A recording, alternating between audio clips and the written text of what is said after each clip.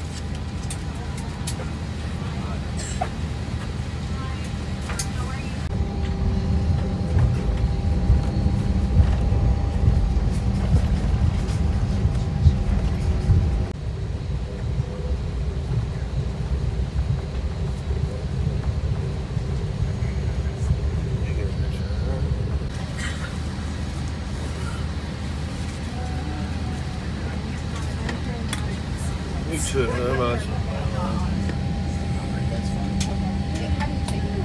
If you haven't already fastened your seatbelt, insert the metal fitting into the buckle pull the strap so it's tied across your hips. To open the seatbelt, lift the top of the buckle.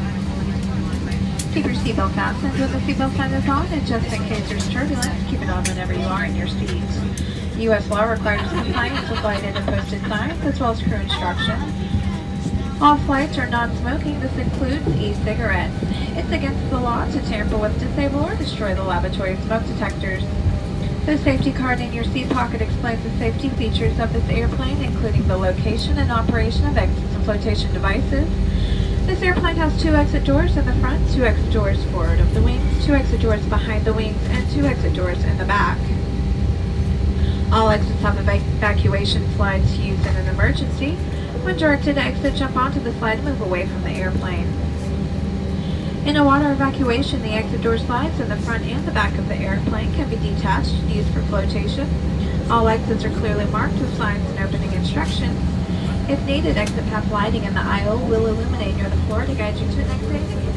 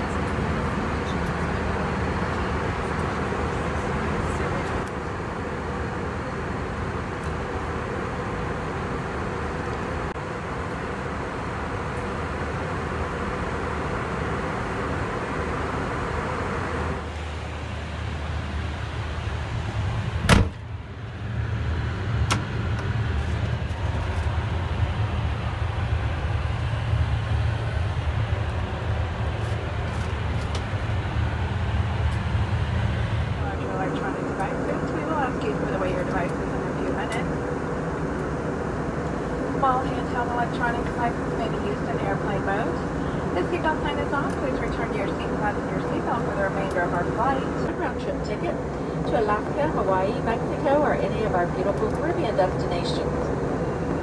The miles can also be applied for travel.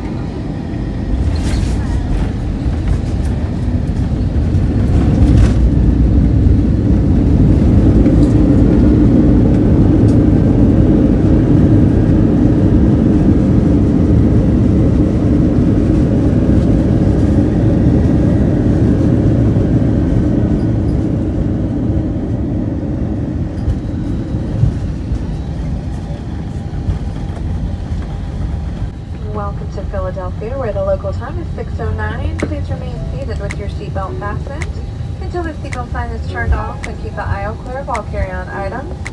Take a moment to check your seat back pocket for any personal items like tablets and cell phones. When you open the overhead compartment, be careful as items may have shifted in flight. You may now use your cell phones. American Airlines and our oneworld partners thank you for flying with us today. We look forward to seeing you again soon.